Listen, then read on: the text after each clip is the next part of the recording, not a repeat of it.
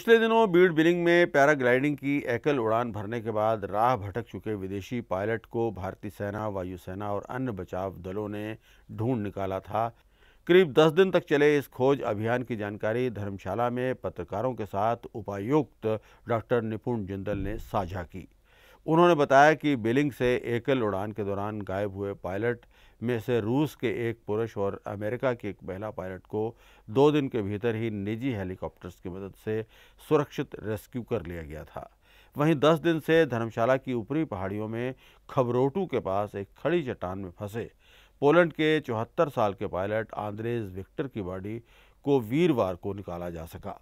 उन्होंने बताया कि जिला आपदा प्रबंधन प्राधिकरण ने बिलिंग पैराग्लाइडिंग एसोसिएशन से समन्वय स्थापित कर निजी हेलीकॉप्टर्स द्वारा 24 अक्टूबर को पायलट को ढूंढना शुरू किया था। पायलट की लोकेशन पता चलने के बाद अमेरिकी महिला पायलट को थमसर पास और एक रूसी पायलट को रेड रूफ टेंपल के पास रेस्क्यू कर लिया गया। वहीं पोलैंड के पायलट की लोकेशन धर्मशाला के ऊपर पहाड़ियों में खबरूटू के पास थी, जो कि 3650 मीटर की ऊंचाई पर है।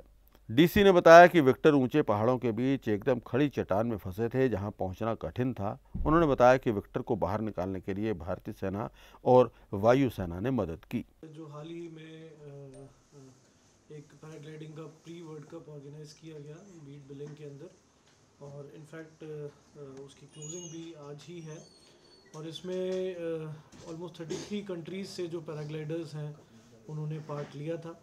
और इसमें प्री वर्ल्ड कप की प्रपरेशंस के दौरान कुछ इंसिडेंट्स हुए थे जिसमें जो सोलो पायलट्स थे डिफरेंट कंट्रीज़ से डिफरेंट लोकेशन से, उनको उनको वो अपनी जो जो सोलो फ्लाइंग के दौरान अपनी जो एक, जो फ़्लाइट प्लान है उससे भटक गए थे। और इसमें चार ऐसे मामले जो हैं, वो ज़िला प्रशासन के सामने आए थे, जिसमें दो जो रशियन ओरिजिन के लोग थे, एक यूएस ओरिजिन की लेडी थी और एक पोलैंड ओरिजिन के व्यक्ति थे, जिनका जो उस समय मिसिंग थे। और ये तेईस चौबीस के आसपास ये घटनाएँ हुई थी और इसमें जो हमारे तीन जो लोग हैं, उनको सक्सेसफुली रेस्क्यू कर लिया गया था, जिसमें दो रशियंस और जो एक यूएस की लेडी थी, उनको रेस्क्यू कर लिया गया था। और इसके अतिरिक्त एक जो पोलैंड के 74 वर्षीय एक जो व्यक्ति थे, मिस्टर विक्टर, उनके वो स्टिल ही वाज मिसिंग और इसमें जो पैराग्लाइडिंग एसोसिएशन द्वारा प्राइवेट हेलीकॉप्टर्स हायर किए गए थे। उन्होंने उनकी जो लोकेशन है, वो हाई माउंटेन रेंजेस पे, धर्मशाला और स्लेट गोदाम और योल के पीछे जो हाई माउंटेन रेंजेस हैं, वहाँ पर उनकी लोकेशन को डिटेक्ट किया था। और ये लोकेशन लगभग छत्तीस मीटर अबव सी लेवल ये लोकेशन थी। और ये लोकेशन बेसिकली बहुत ही टीचरस लोकेशन थी, जिसके ऊपर उन व्यक्ति का जो पैराग्लाइडर है, उसको देखा गया था और ऑलमोस्ट ये 90 डिग्री 80 90 डिग्री का एक स्टीप क्लिफ था जहाँ पर उनकी बॉडी को, उनकी, उनके पैराग्लाइडर को बेसिकली पहले देखा गया। और परंतु उनकी बॉडी जो है वो उस समय विजिबल नहीं थी। तो जो प्राइवेट हेलीकॉप्टर्स हैं, उन्होंने एक बार जो बेसलाइन आइडेंटिफिकेशन रखी के बाद हमें सूचना दी कि यहाँ पर जो है उनका पैराग्लाइडर उसी मेक का और उसी कलर का जो पैराग्लाइडर है इन माउंटेन रेंजेस के ऊपर देखा गया है। इसके बाद हमने प्राइवेट हेलीकॉप्टर्स की मदद से कोशिश की कि उस वहाँ पर जो है हमारी टीम्स पहुँच सकें। परंतु हाई क्लिफ होने की वजह से वहाँ पर उन हेलीकॉप्टर्स की जो रोटरी क्लियरेंस है वो नहीं अवेलेबल हो पा रही थी। और इसी के चलते फिर ज़िला प्रशासन ने एयरफोर्स की जो मदद है उसके लिए रिक्विजिशन भेजी। और एयरफोर्स के जो चॉपर्स हैं, दो चीता हेलीकॉप्टर जो हैं एयरफोर्स ने मोबिलाइज़ किए।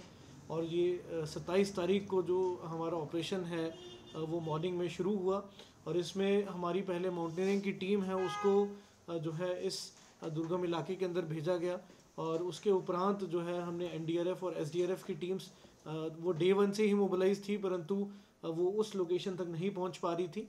तो इस लोकेशन पर जब हमारी टीम्स पहुँची और उन्होंने लगभग अठतीस मीटर के आसपास हाइट पे एक जो प्लेटू है, उसके ऊपर अपना कैंप किया और वहाँ से उन्होंने डिसेंट अपना शुरू किया 3650 मीटर पर। जहाँ पर ये पैराग्लाइडर अटका हुआ था। और जब उन्होंने पैराग्लाइडर से संपर्क किया तो जब उनके संपर्क में आए तो उन्होंने देखा जो मिस्टर विक्टर हैं, उनकी बॉडी भी उसी पैराग्लाइडर के अंदर थी। और कोशिश दो तीन दिन जारी रही इसमें हमारी टीम्स, क्योंकि he was a very well built एक व्यक्ति थे तो उनकी हमारी टीम्स जो हैं और स्टी परसेंट के कारण उनको वापस बेस कैंप तक लाना उनके लिए डिफ़िकल्ट हो पा रहा था। और इसमें एयरफोर्स के जो गरुड़ हमारे कमांडोज हैं, उनकी भी मदद सॉर्ट की गई और गरुड़ कमांडोज भी हमारी मदद के लिए आए। परंतु किन्हीं कारणों की वजह से कोई वेदर इश्यूज़ भी रहे, यहाँ पे बहुत जल्दी वेदर पैकअप हो जाता है ग्यारह बारह बजे के आसपास इस पूरे पहाड़ी पे तो वो ऑपरेशन सक्सेसफुल नहीं हो पाया। और इसको चलते, इसको देखते हुए हमने जो हाई ऑल्टीट्यूड वॉरफेयर स्कूल है गुलमर्ग में जिसको हॉज के नाम से जाना जाता है, इसमें जो हमारे पैरा ट्रूपर्स हैं इंडियन आर्मी के एयरफोर्स के, वो सभी इस स्कूल के माध्यम से ही ट्रेन किए जाते हैं। उनके साथ हमने संपर्क किया और उन्होंने अपनी टीम जो है वो बाय रोड वो धर्मशाला के लिए उन्होंने डिस्पैच की और ये टीम परसों हमारे पास पहुँच गई थी और कल सुबह हेलीकॉप्टर्स की मदद से इस टीम ने पूरे एरिया की जो रेकी की और अपना जो प्लान ऑफ़ एक्शन है वो बनाया और इसमें हमारी टीम ने कल जो ये बॉडी मिस्टर विक्टर की जो बॉडी थी, उसको हाई ऑल्टीट्यूड पे वेंच कर दिया ऑलमोस्ट 300 मीटर जो है उस बॉडी को वो ऊपर ले गए विंचिंग मशीन के माध्यम से। और आज सुबह जो है, जो एयरफोर्स के हेलीकॉप्टर्स ने, उन्होंने जो उस साइड से उस बॉडी को लिफ्ट किया और जो यहाँ धर्मशाला के अंदर उस बॉडी को यहाँ पे वो लेकर आए। और उनकी जो मिस्टर विक्टर की जो वाइफ है और उनका जो बेटा है ही इज़ हेयर ओनली और उनको जो बॉडी है वो सौंप भी दी गई है। uh, और साथ में उसका जो पोस्टमार्ट पोस्टमार्टम है इस समय जोनल हॉस्पिटल धर्मशाला के अंदर जो पोस्टमार्टम है वो चल रहा है। तो ये लगभग जो मैं कहूँगा ऑलमोस्ट एट डेज़ के लिए ये जो सर्च एंड जो ऑपरेशन है हमारा ये चला। और इसमें फाइनली आज जो है हमें सक्सेस मिला बिकॉज़ ये कंडीशंस बहुत ट्रीचरस थी ये क्लिफ जैसे कि आप आपको कुछ वीडियोस भी दिखाए जाएँगे उसके अंदर भी आप देखेंगे। तो यहाँ पर जो ऑपरेशन कर पाना बहुत ही डिफ़िकल्ट था और मैं धन्यवाद देना चाहूँगा एयरफोर्स और इंडियन आर्मी का। उन्होंने हर पग पे हमारा सहयोग दिया और जब भी हमने उनको कोई रिक्वेस्ट की या किसी भी प्रकार का इवन हॉज के जो हमारे जवान हैं पैरा ट्रूपर्स हैं, वो यहाँ पर आए इस ऑपरेशन को अंजाम देने के लिए। तो उनका बहुत बहुत धन्यवाद रहेगा ज़िला प्रशासन और प्रदेश सरकार की तरफ़ से। एंड बहुत ही दुखद घटना है, परंतु अल्टीमेटली जो एक क्लोजर है, उनकी उनकी फैमिली को मिस्टर विक्टर की जो बॉडी है वो जो पोस्टमार्टम के बाद हैंडओवर कर दी जाएगी और इसी प्रकार जो है मैं ये कहता हूँ कि आगे भी हमें क्योंकि जो पैराग्लाइडिंग है ये आगे भी होनी है तो इस प्रकार जो जितना भी हमारा टेंडम फ्लाइट्स हैं उसके अंदर रेगुलेशंस जो हैं वो लाई गई हैं और इसके ऊपर भी जो मंत्रणा है, मंथन किया जाएगा कि सोलो पायलट्स को कैसे जो है उनको ट्रैकिंग मैकेनिज्म कोई उनका डेवलप किया जाए ताकि इस प्रकार की जो स्थिति है, वो फ्यूचर के अंदर ना आ रही सो